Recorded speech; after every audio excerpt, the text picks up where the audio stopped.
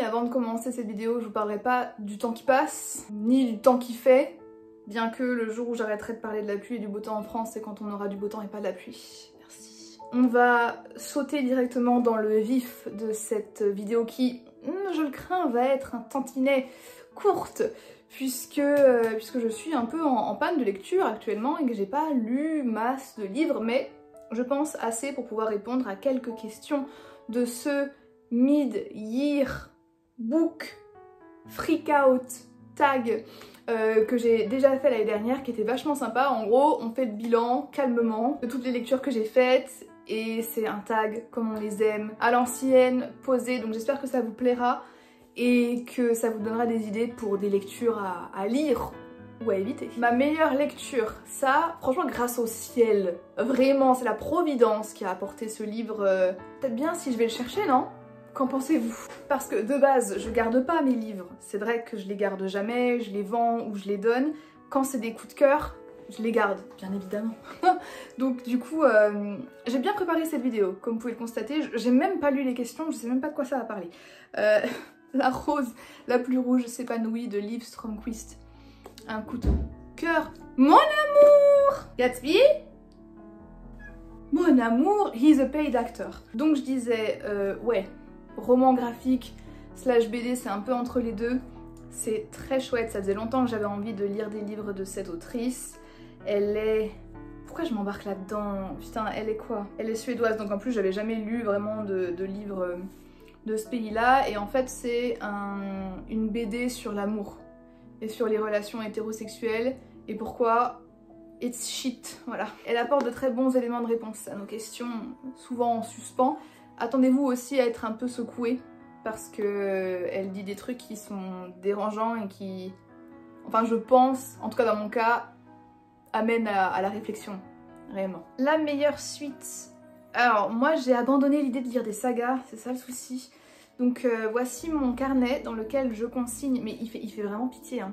Il est malingre le truc. Dans lequel je consigne euh, toutes mes lectures depuis... Hmm, depuis 2016. Depuis 2016, dur. Et bref, pour que j'ai ça sous les yeux, pour savoir qu'est-ce que j'ai aimé ensuite, mais je... Je lis pas de saga parce que je connais mes faiblesses.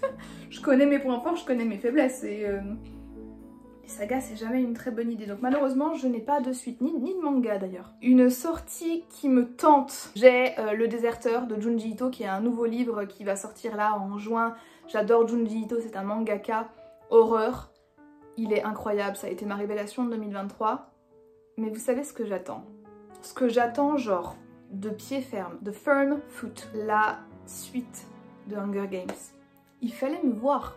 Il fallait me voir. Quand j'ai entendu la nouvelle et que j'ai su qu'elle avait écrit, en tout cas, ou alors qu'elle est en train d'écrire un autre livre et que en plus, il va être adapté. It's a millennial dream. En fait, si on m'avait annoncé que Twilight allait avoir un film juste sur Alice ou vous savez un des frères et sœurs qu'on n'a pas trop trop vu à l'écran, j'aurais été dans le même état.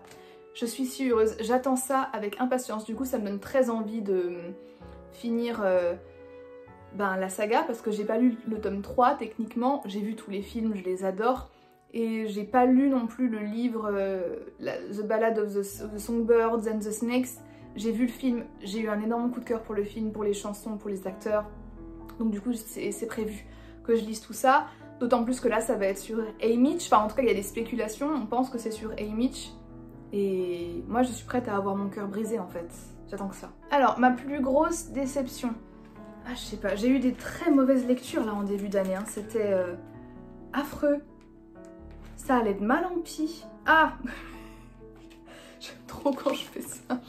Je note, en fait je marque, ok, et à chaque fois je donne des notes et parfois les notes c'est genre abandon sur 20, euh, boring sur 20 et là j'ai eu un bon nul sur 20 mais c'était euh, Witch and God, c'était pour, mon challenge euh, donc je veux pas dire que c'était une déception parce que déjà j'en attendais pas grand chose. Ça a quand même trouvé le moyen de me décevoir. ceci étant dit, je dirais... Ah, The Guest List, c'était quand même très déceptif. Hein. En fait, c'est un, un thriller que j'ai traîné pendant des mois et des mois et des mois. Et enfin, ouais, oui, c'est ça, je l'ai commencé en octobre et je l'ai fini euh, en genre janvier, totalement illégal, mais bref. Et l'ambiance était vachement bien, en fait c'était un peu à la Agatha Christie, ça se passe sur une île irlandaise, je crois, et en gros c'est un énorme euh, mariage avec beaucoup d'invités et très vite euh, il y a cette ambiance lugubre et sombre qui pèse en autour de, l'événement. Les invités ne peuvent pas partir de l'île. Il y a les éléments naturels qui commencent à se déchaîner. Et, euh, en fait, en soi, c'était vraiment chouette. Maintenant, la fin, ça m'a pas impressionné.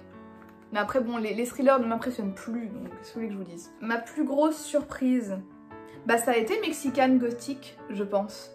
Mexican Gothic, pour le moment, c'est ma deuxième meilleure lecture de l'année, ok? Et c'est un livre, ça fait vraiment plusieurs années, ou je sais pas si ça se compte vraiment en années.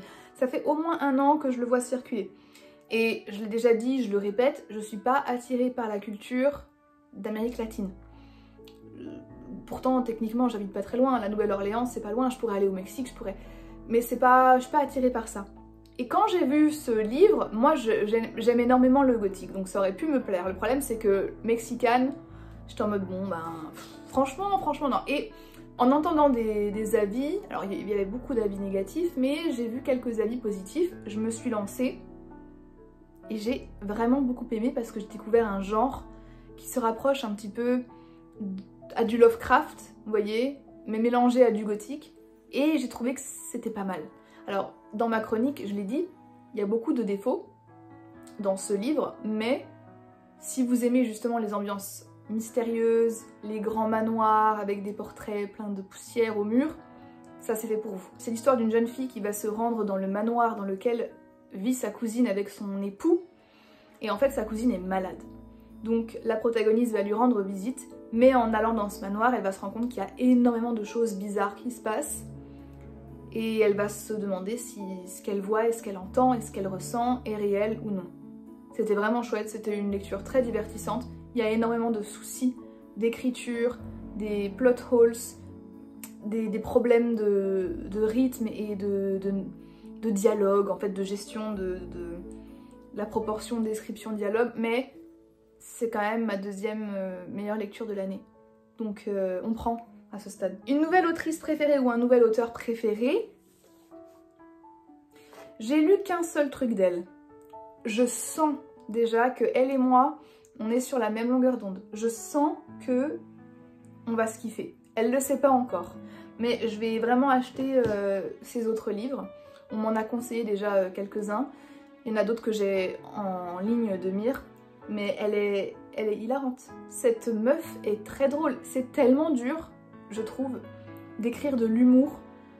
Je, je pense que c'est plus simple de faire des choses, de produire des choses qui rendent triste, mélancolique, nostalgique, tout ce que vous voulez, que de faire des choses qui font rire. Et elle manie l'humour. En tout cas, ça c'est my type of humor. Vraiment, c'est mon humour. C'est intelligent, c'est fin, c'est smart. franchement, c'était trop bien. Donc, euh, elle, je sens que ça va être une de mes autrices, bref, c'est sûr. Un personnage préféré euh, je sais pas, je m'attache pas trop. Ah ouais, non, il y avait dans les mémoires de la forêt tous les personnages, ils sont trop mignons. Le renard. Alors j'ai lu le tome 1 des Mémoires de la forêt. J'ai énormément apprécié. Je ne pense pas que je lirai la suite. En tout cas, c'est pas une nécessité maintenant. C'est pas un besoin que j'ai euh, dans l'absolu. Peut-être que je le ferai, mais en tout cas maintenant non. Ceci étant dit, très belle lecture, très doux, très euh, réconfortant. Et donc euh, c'est un livre pour enfants mais qui a une double lecture et on suit un renard et une taupe qui vont partir à la recherche euh, du passé de cette taupe qui a la maladie de l'oubli-tout, donc euh, Alzheimer. Et ce renard est un magnifique exemple d'amitié, de loyauté, de patience, de compassion. Ce renard, un exemple pour nous tous et toutes. Un livre qui m'a fait pleurer. Ah, il y en a eu un, je crois. Pourquoi? euh, pourquoi alors qu'on est sur un livre qui mélange humour, euh, sociologie, euh, sur l'amour? Parce que je vous l'ai dit, moi ça m'a retourné en fait, ça m'a vraiment remise en question. Ça m'a encouragée à m'interroger sur certains comportements que j'ai, certains mécanismes de défense que j'ai, ou certains processus mentaux en fait tout simplement que j'ai et c'est jamais vraiment agréable de, se rendre compte qu'on est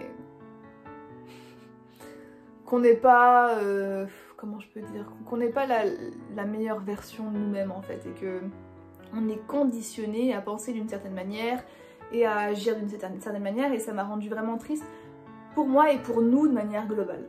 Parce qu'elle explique pourquoi les relations ont du mal à fonctionner aujourd'hui.